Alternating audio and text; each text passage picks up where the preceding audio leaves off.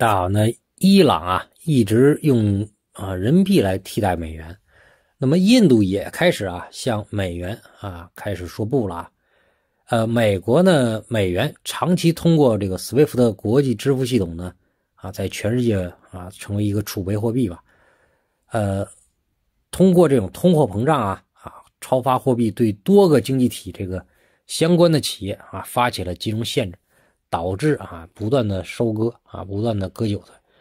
啊而且呢这种限制啊啊这个主体啊让限制主体啊被限制主体失去了全球开展经贸活动啊这种能力，啊无法接收海外付款这些啊这个能力，所以福威 SWIFT 总部为比利时啊，但是呢实际上国际金融系统总代理的垄断者啊其实是来自美国的银行高管组成的。就是这一个不公平的货币现象背景下啊，全球绕过 SWIFT 的支付系统，去美元化动作啊就开始了。呃，有了最新进展。根据俄罗斯和伊朗媒体日前的消息说，俄罗斯准备离开 SWIFT 的支付系统啊。我谈过一期。那作为替代方案啊，考虑了俄罗斯银行和金融通讯传输系统的 SPFS 啊，研究了与多个啊全球支付系统配对的这个选项。欧洲有 SEPA 啊，伊朗的 SEPAM 啊，中国的 CIPS 啊，这是我首次给大家爆料啊，中国的啊 CIPS 系统啊，伊朗的 SEPAM 啊，欧洲的 SEP，这都是独立系统啊，啊，俄罗斯的系统要与他们啊开始配对啊，你看欧洲也搞，伊朗也搞，中国也搞一个啊，等于是什么呢？都不信任，欧洲也不信任啊斯威夫特啊。所以值得注意的是什么呢？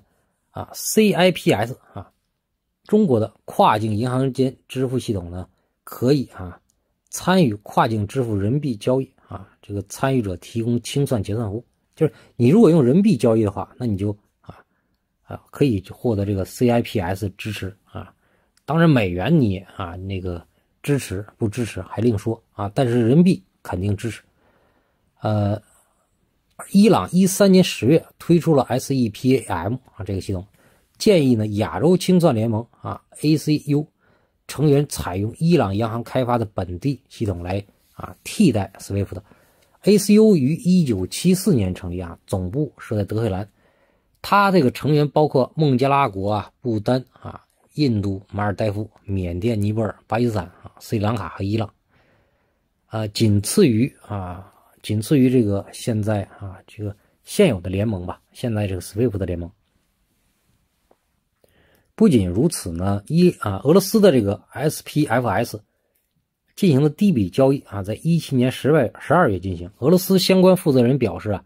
应取消美元作为国际市场默认货币的优先地位，世界各国呢应远离使用西方控制的国际支付系统。而这种啊，更加意外的是啊，美国啊，俄罗斯的 RT 啊，这个电视台报道啊，俄罗斯对印度的出口约三分之二使用卢布啊支付，啊，认为呢，印度与俄罗斯经贸已经是多次使用这个 SPFS 支付系统了，而非美元支付系统，就意味着什么呢？印度已经正式向美元亮剑了。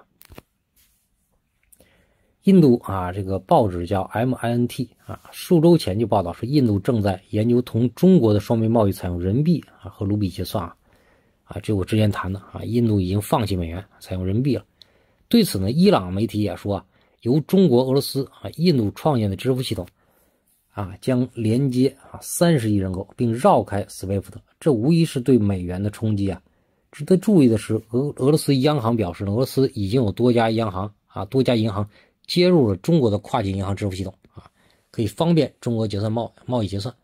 啊。记住，中国的跨境银行系统啊，可是人民币结算啊，就是说等于是俄罗斯银银行啊开始接入中国人民币系统啊，为两国商家避免啊美元利差风险，实现利润最大化啊做了支撑。啊，最新进展是啊，俄罗斯媒体报道说，哈尔滨银行成为中国首家加入俄罗斯联邦。储呃储蓄银行金融市场外汇交易平台，啊，这个商业银行哈尔滨银行，这也是双方继本币结算啊、同业融资啊、银团贷款啊、现钞跨境调运这些领域合作以后啊，又一个合作啊。哈尔滨银行加入该平台以后呢，可开展三十五种的货币啊对人民币、卢布的啊及其远期调调期交易，就意味着中俄经贸本币化结算趋势啊进一步加大。此前呢，开创过啊现钞方面深度合作的啊这个俄亚太银行，早在数月前就成功向哈尔滨银行空投了一千万元卢布现钞啊至金库中。紧接着，哈尔滨银行与俄罗斯农业银行、开放金融集团银行又签署了现钞跨境调运合作啊。目前呢，根据公开的报报道啊，已知哈尔滨银行已经实现对啊俄国跨境啊调运人民币现钞十笔，累计金额是一点五五亿元啊，就一点五五亿元人民币现钞啊去俄罗斯。根据美国相关分析呢。中俄去美元化啊，实质性突破已经开始了。截止今年一月啊，俄罗斯外贸中啊，从中国进口的货物人民币支付比例啊增长了九倍。现在呢，中俄企业之间的结算机制也正在进行啊建立中。根据俄央行最新报告说，俄中央银行所持有的外汇资产中啊，啊，俄央行储备持有近三分之一以人民币计价资产啊，增长了十四倍啊。与此同时，俄罗斯啊，RT 电视台稍早去前之前报道说，俄罗斯相关机构也正在研究建立一个由黄金支持的加密数字货币啊，就是有黄金备案啊，可以给它背书，然后呢啊是个加密货币，跨支持跨境交易结算啊，中国啊很有可能参与，可能是在二一年啊启动数字货币试点啊，这是俄罗斯啊二一年要启动数字货币试点。显而易见，就是俄罗斯在全球贸易结算过程中啊，不断冲破啊，不但冲破了美元主导这个 SWIFT 的支付系统限制，还用了多种方式开始去美元化啊。呃，关于主权加密货币这个啊去美元化这个选项啊，伊朗啊也取得了突破啊。伊朗这个啊相关电视台两周前报道说，伊朗相关的机构颁发了一千多个加密币啊采矿许可证。这个可以啊，促进包括石油在内的贸易使用加密货币来进行商品进口商品，并绕过美国银行限制。与此同时呢，伊朗主权加密货币啊这个项目还得到了有丰富石油资源的马来西亚当局的公开支持啊。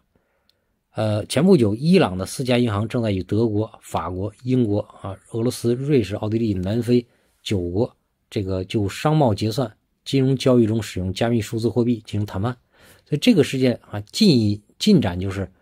目前瑞士与伊朗啊已经达成了多笔交易，这就表明了伊朗与瑞士的企业合作已经绕开了美元。你看呢，瑞士最先啊抛弃美元，开始与伊朗啊使用这种加密货币了。紧接着，欧洲央行就开始表示啊支持规避 SWIFT 的数字货币方案，有望在几个月内啊取得进展。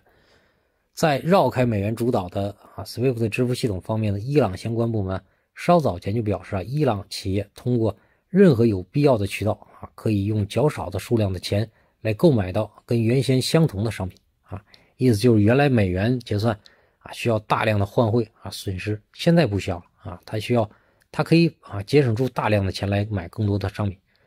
比如说它从中国的跨境银行支付系统啊这个 CIPS 作为一种国际支付系统。可以参与到跨境支付人民币交易啊，那就等于伊朗可以使用人民币来购买中国商品。事实上呢，伊朗数周前已经开始正式宣布将人民币列为该国的主要外汇货币之一啊，来替代美元的外汇货币地位了。就是你在伊朗，你可以啊，在在当地啊交换啊，用用人民币来做交换。紧接着呢，伊朗还通过立法啊，推出国家货币。啊，新的货币过渡版啊，该国的国家货币里亚尔将变为土曼啊。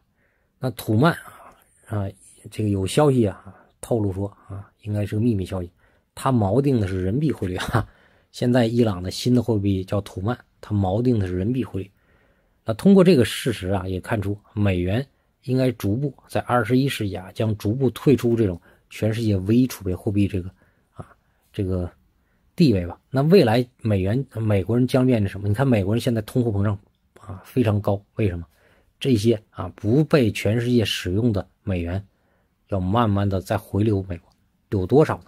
我告诉大家一个数字，有二十万亿啊，十二万到二十万亿的美元准备回流美国，美国人准备着美元啊贬值，还有通货膨胀这个风险要加剧啊，做好准备。